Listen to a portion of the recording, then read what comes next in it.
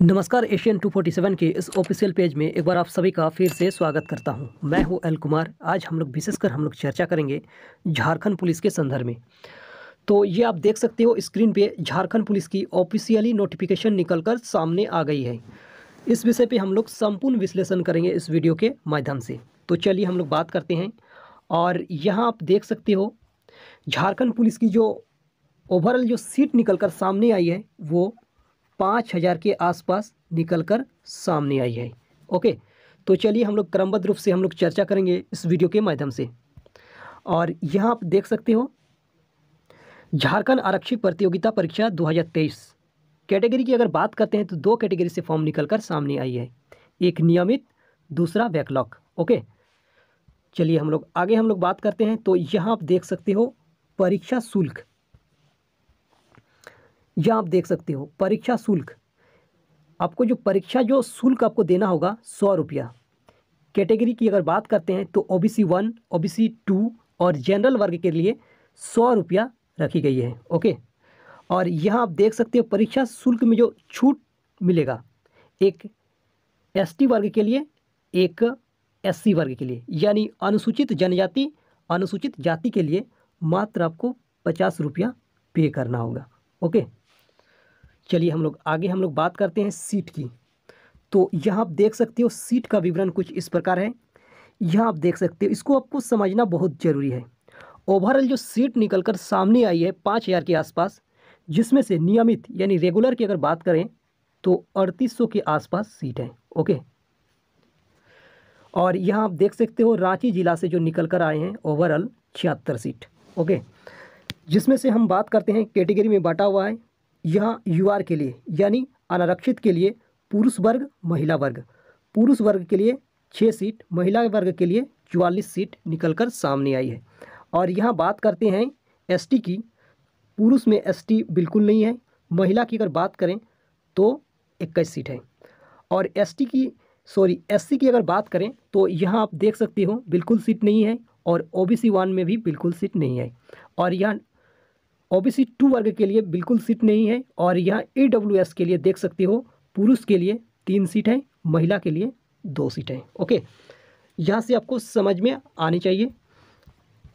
चलिए, फिर बात करते हैं खूंटी जिला से। और यहाँ आप देख सकते हो, खूंटी जिला से जो वैकेंसी है वो छियासी निकल कर सामने आई है। और यहाँ आप देख सकते हो, सिमडेगा के लिए 103 चलिए हम लोग आगे बात करते हैं गुमला के लिए। और यहाँ आप देख सकते हो गुमला के लिए बारह।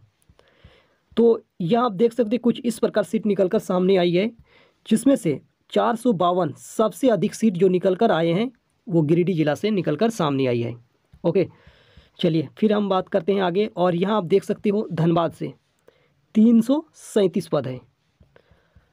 और यहाँ आप देख सकते हो तीन सौ तियालीस गिरिडीह से, सॉरी, देवघर से। ओके देवघर से कितना है? तीन सौ तियालीस।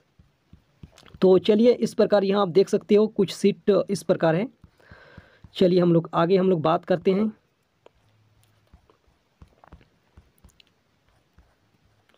यहाँ आप देख सकते हो, महत्वपूर्ण बिंदु आप यहाँ देख सकते हो। कंडिका थ्री, ओके? तो न्यूनतम शैक्षणिक योग्यता टेंथ पास, ओके? यानी मान्यता प्राप्त शैक्षणिक संस्थान से दसवीं उत्तीर्ण अनिवार्य है। तो यहाँ से आप देख सकते हो। चलिए हम लोग आगे हम लोग बात करते हैं। चलिए, एक और महत्वपूर्ण बिंदु यहाँ आप देख सकते हो। शारीरिक दक्षता, यानी शरीर की शारीरिक माप, यहाँ आप देख सकते हो। तो यहाँ आप देख सकते हो।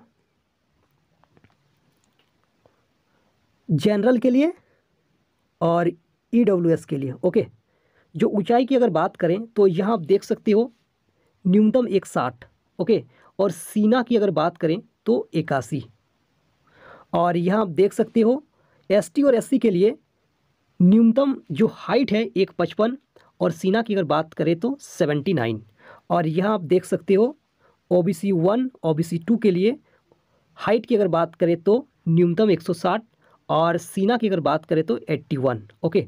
और यहाँ आप देख सकते हो महिला के लिए न्यूनतम जो हाइट है वन फोर्टी एट और सीना की माप नहीं की जाएगी। ओके, महिला वर्ग के लिए। तो चलिए, यहाँ से आप देख सकते हो, चलिए, अब बात करते हैं एज की, ओके। तो यहाँ से आप देख सकते हो, सबसे महत्वपूर्ण बिंदु अगर बात करें तो एज को लेकर है, ओके। तो चलिए, आप यहाँ देख सकते हो न्यूनतम उम्र की सीमा, गणना है तो संदर्भ, तिथि, एक आठ दो हज़ार तेईस। और अधिकतम सीमा की अगर बात करें गणना की तो एक आठ दो हज़ार उन्नीस। इसमें मैं साफ़ तौर पे अगर बोले तो एक आठ दो हज़ार उन्नीस को अगर बात करें, यानी अगर एक आठ दो हज़ार उन्नीस में अगर आपका पच्चीस साल हो रहा है तो इस फॉर्म को आप भर सकते हो। सिर्फ़ जनरल की समय हम लोग बात कर रहे हैं। फिर सत्ताईस साल जो है, ये अत्यंत पिछड़ा वर्ग O B C one O B C two के लिए। अगर आप 2019 में अगर सत्ताईस साल भी है ना तो इस फॉर्म को भर सकते हो। यानी कुल मिला के अगर बात करें तो इसमें चार वर्षों की छूट मिली है। और यहाँ आप देख सकते हो महिला के लिए। ओके। अनारक्षित कमज़ोर वर्ग, अत्यंत पिछड़ा वर्ग। अनुसूचित वन, पिछड़ा वर्ग टू के लिए अट्ठाईस वर्ष है। ओके। महिला के लिए हम बात कर रहे हैं। और यहाँ देख सकते हो एस सी महिला के लिए तीस वर्ष। ओके। और पुरुष के लिए भी संलग्न है, महिला के लिए भी संलग्न है, तीस वर्ष। ओके। तो इसमें भी आप बात करते हैं अनुसूचित जाति के लिए तो इसमें भी चार साल एड हो जाएगा। ओके। तो चलिए फिर से हम लोग बात करते हैं।